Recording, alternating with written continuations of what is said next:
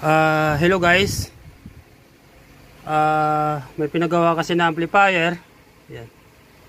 Ah, ito yung kanyang pangalan, ah Sansui. Ito yung model niya A-7. Yan. Ah, titingnan natin guys yung likod. Ito yung kanyang likod. Ah, 180 watts. Medyo mababa siya. Ah, actually guys, ah gin-search ko to sa internet. Ah, 1970s, 80s itong model nito guys. Then may nakalagay sa guys na Kita ba guys? Ah, 40 pa, 45 watts RMS times 2 then 8 ohms. Ah, bubuksan to guys. Bubuksan ko sa loob then titingnan ko kung ah, bakit nanging 40 wa 45 watts RMS ya. Ah, titingnan ko guys yung kanyang mga voltahe, then yung kanyang mga transformer kung gaano kalaki. Ah, para kahit paano may idea tayo kung paano sinukat yung RMS na isang amplifier. Ah, ang issue pala nito guys, ah, sabi ng may-ari, ah, may power po ito. Ah, din tumutunog, bigla lang daw siyang umuugong. Ayan. Ah, ito pala guys yung kanyang laman. Yan.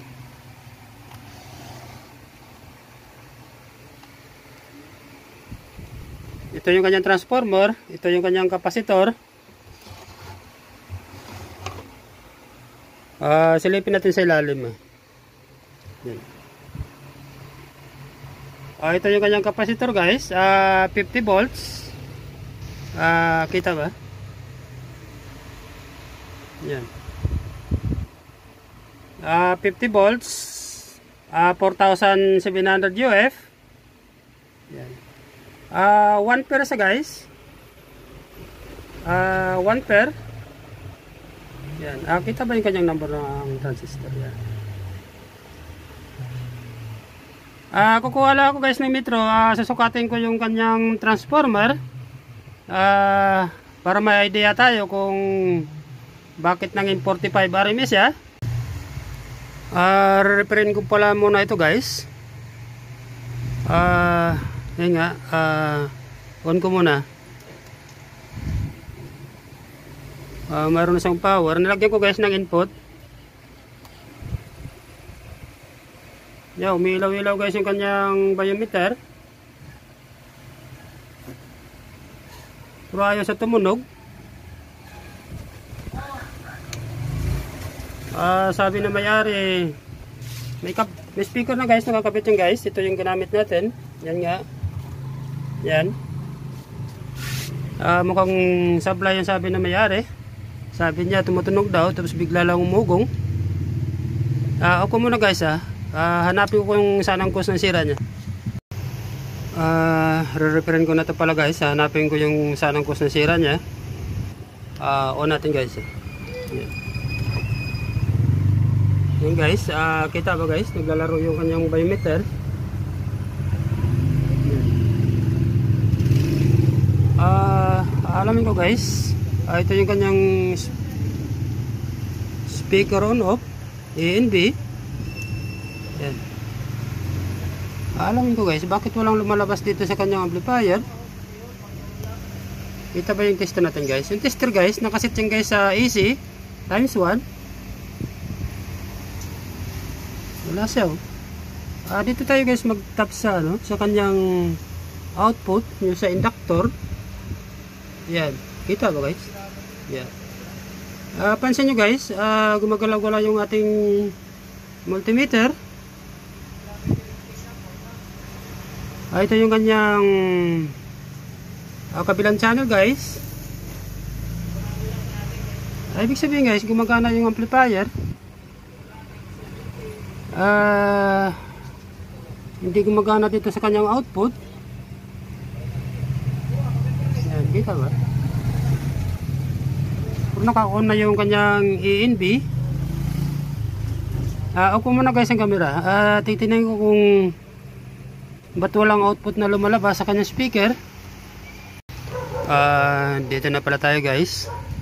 Ah, naglulos nga yung kanyang ah, ENB na switch speaker. Ah, pero kailangan natin to guys baklasin. Ah, hanapin natin kasi sabi ng may-ari nito ah, umuugong. Pag tinatapik, ah, baklasin ko muna to guys. Ah, ito na guys, ah, binaklas ko. Titingnan natin guys kung ah, may naglulusa rito.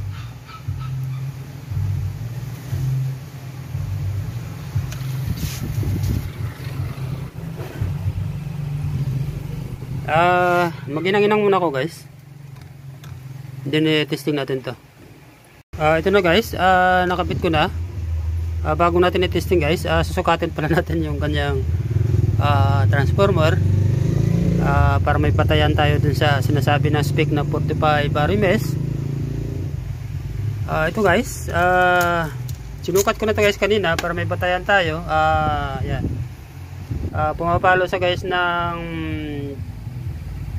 3 3 and half inch din yung kanyang kapal guys ah pumapalo sa guys ng ano 2 inches yan ah 2 2 by 3 and half. Yan. Ah testing na natin to guys. Ah ito na guys. Ah, testing na natin siya. Yan.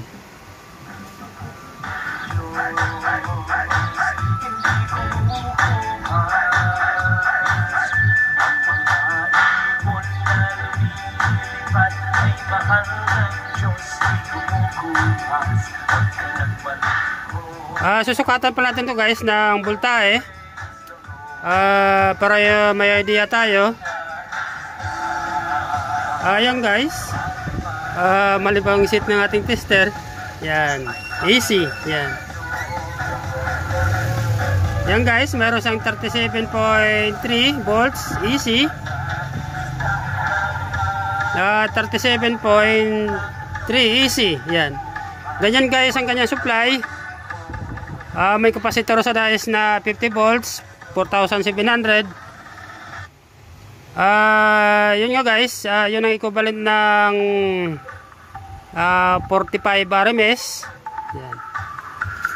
Uh, hindi tayo guys sa uh, engineer, nagbe-base tayo sa actual. Uh, wala tayong calculation kung paano magano ng RMS. Yan.